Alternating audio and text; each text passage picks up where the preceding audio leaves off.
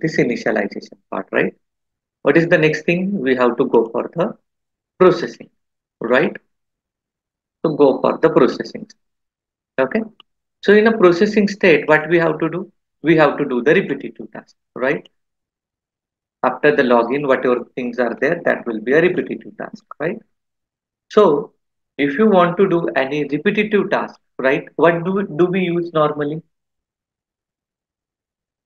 Any guess or any idea? Okay. So we are, we will use the loop, right? We will use the loop. So what is a loop basically, right?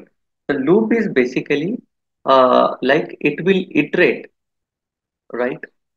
Based on, it will iterate the steps based on the input, okay? Or based on the condition, right? Suppose if you have any condition like this has to be done for four times, five times, right? So it based on the condition, it will iterate four times, five times, or whatever is the thing, right? Similar way, uh, if you have any condition like it should do for four times, five times, right? So it will do based on that, right? So here also we have to use a loop. So basically the loop will be used to iterate the same steps based on the input or based on the condition, right? So we are having three types of loops. Okay, while. Okay, this is while, and second is the do while. While and do while. Okay, while do while, and the last one is a for each row. Okay, for each row, or we can say for each, right? So we are having these three loops. Okay. So if you go to the while, while and do while are very similar, just a minor difference, right? You can see it is asking condition. What do you mean by condition? Like uh, how many records, or if you want to give any condition, like we have to complete till this condition is true, right? So if the condition is true, then only it will go to the body and it will perform that, right? So suppose if you have the condition like it should run two times so it should go here it will run this two times based on this condition. If the condition is false it will come out from the loop right? Same thing with do while as well but what do while will do it will first execute the step at least once okay? It will execute the steps at least once and then it will check the condition. So if the condition is true then only it will perform the action or otherwise it will not perform but what about for each? It will ask the number of inputs or data table or any, as I said, number of inputs, maybe more than one value. And accordingly, it will work on those values one by one. Okay. So here there is no question about condition. Here we have to do the or we have to use the condition, right? So we have only three loops in case we are not aware about loops or something that's perfectly fine. It, it, it doesn't matter. Okay? So if you see here right? Now which loop we can use? Can anyone tell me just by seeing or whatever we have discussed so far which loop we have to use? We have to use a for each right? Because here we don't have any condition. Here we are having number of inputs or data table. Can you see this data table right? Here there is no option to give any condition or there or data table, right? So simply we'll use this for each row in a data table. So it will iterate each and every row one by one. Okay, it will iterate each and every row or each and every record one by one, and accordingly we can do our repetitive. Okay. So if you have any confusion which loop we have to use, right? Very simple, you can go ahead and use this loop. Okay. So now here we have to give the variable. Which variable? Where input data. But it is not coming here, right? So any idea why it is not coming here? Even though it is already available into the Init. Go to the Init. Uh, sorry, uh, Rajat. So we can go here, right? Can you see the scope? What is the scope of this?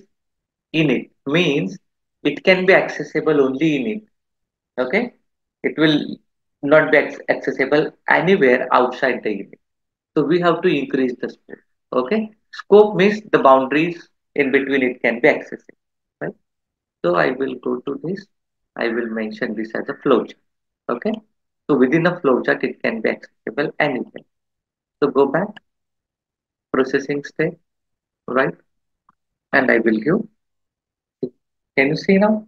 Hit enter. After that, this is current row. I will just mention row. Okay, for each row. Okay, so where input data will have whole input here like this. Okay, but if you see the row, right, row will not pass all the input at a time. It will pass row by row. This row, then this, then this, and then okay? So we have to go row by correct? Now what is the next thing we have to do here? We have to give the option number one and click on the go right? So as we talked initially for every screen we have to use this use application browser.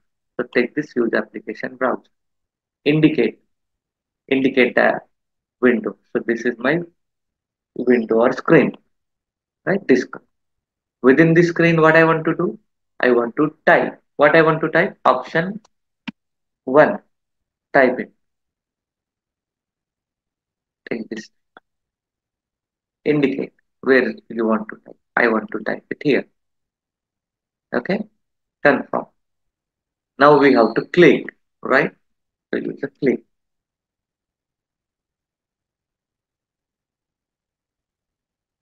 where you want to click? I want to click here. Right? It will take the select. Confirm. Okay? So we were talking about the selector right so again we'll talk one more thing or very general thing so that we can understand it more clearly. Okay? So for example if we are meeting any human first time okay we are meeting any person basically first time. So what will happen? Our brain will capture the unique properties of that person. Okay, unique property. Correct. So what do you mean by unique properties and common properties? So our brain will not capture the common properties. Common properties means two hands, two legs, right? Two eyes, right? It will not capture. So whatever brain will capture, the brain will capture the unique properties such as body structure, height, weight, or any other things basically. Okay, so similar way our tool will also do, right, when it's capturing the select. Now we have completed this use application. This is for option. It will take the screen name as. Okay. Now the next thing, right? What is the next thing? Once we give the option 1 and click on the go, we have to enter this data on a new order.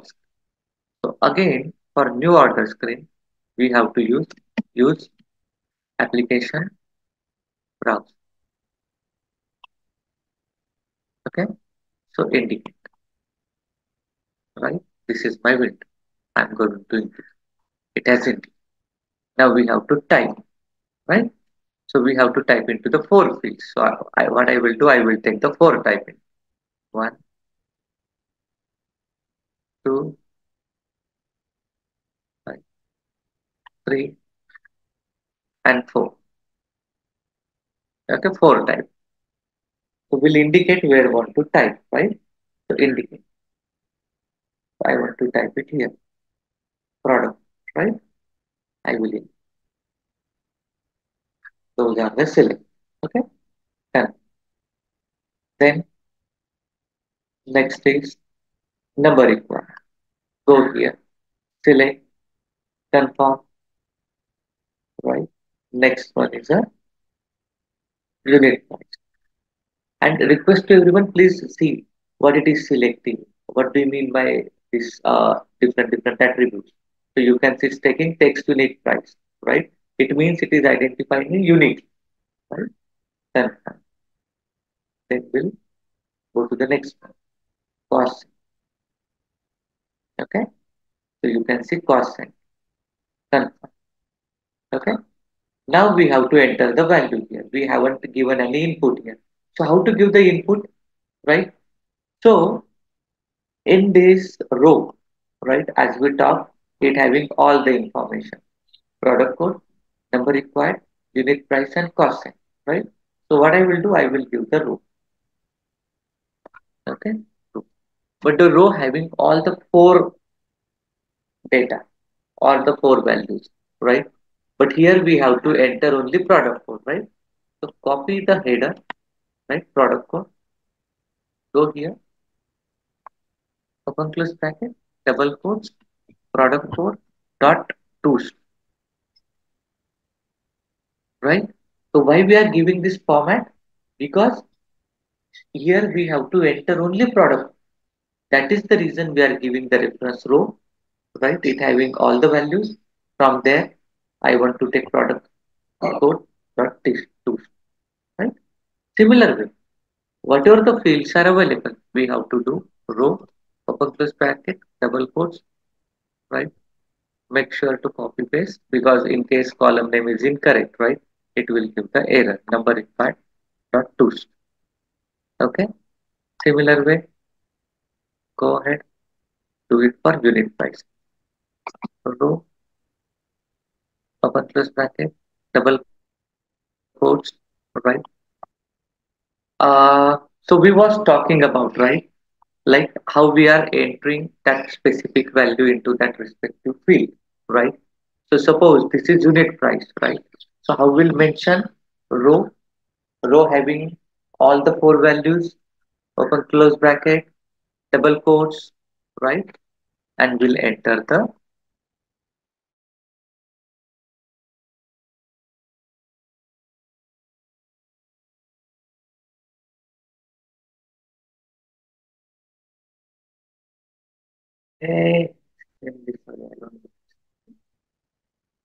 okay. So now what is the last thing? Once we enter all these value, we have to click on the submit on, right? So I will just click on the submit, right? And confirm. Okay. So clear till this point or any question, any doubt like why we are giving this format, okay, or how this format is coming. So कोई कोई doubt होगा तो आप पूछिए. Clear everyone. Manisha, Pratiksha, Prem, Sach. Okay. Fine. So can you build you, your flow till this point? But do not run. Okay. Yes, do not run.